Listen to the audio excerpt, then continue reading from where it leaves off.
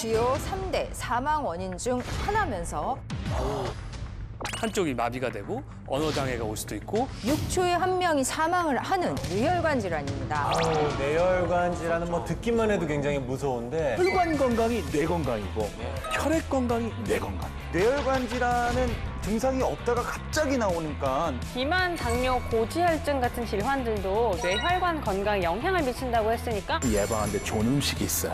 알려주세요 빨리. 또 전문가가 다 있어.